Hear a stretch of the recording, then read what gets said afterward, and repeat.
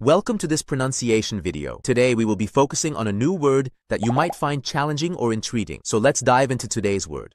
Mensa, which means A high IQ society for individuals scoring in the top 2%.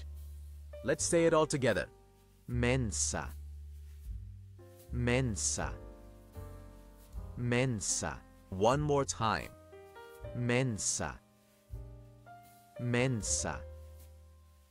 Mensa.